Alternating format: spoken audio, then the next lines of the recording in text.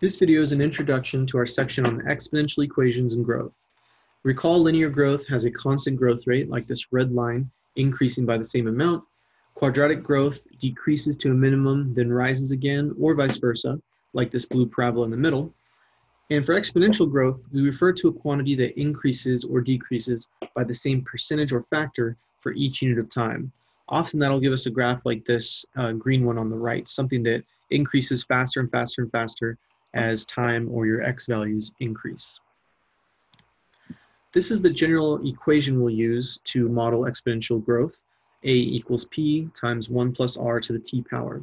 And notice the variable t is in the exponent position, which is what makes this an exponential equation, and it's also what will require some new algebra skills to work with.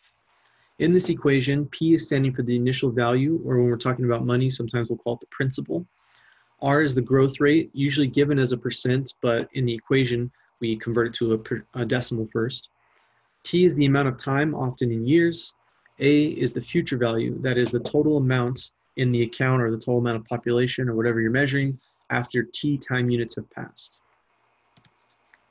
Two common applications of exponential models are compound interest and population growth.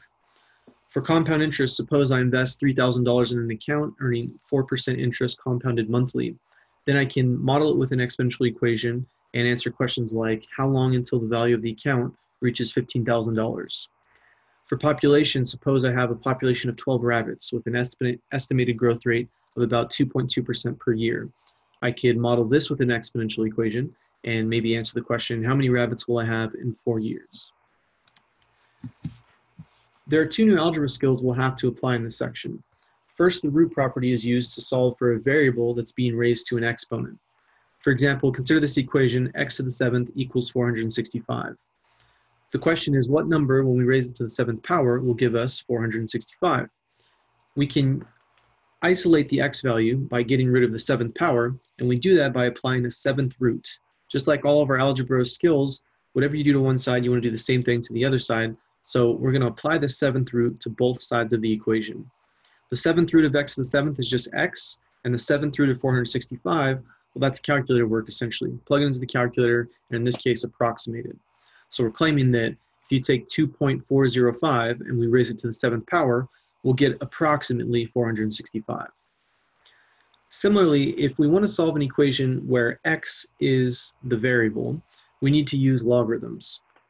Logarithms are a complex subject that have several applications and rules, but essentially logarithms are inverses of exponentials. We will use a very specific application of the logarithm called the exponent property of logarithms.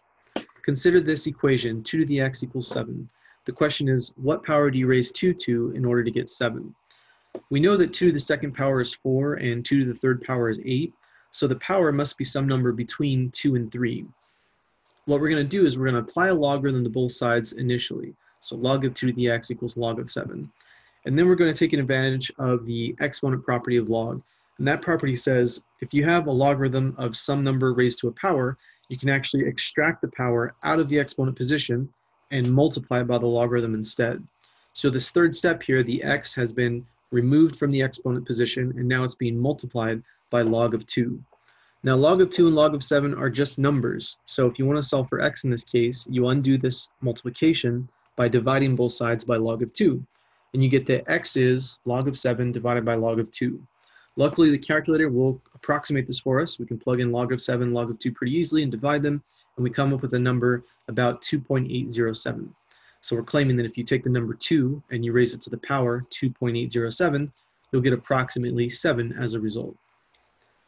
That's it for now. We'll go into more detail in the video lecture for this section, but for now, thanks for watching.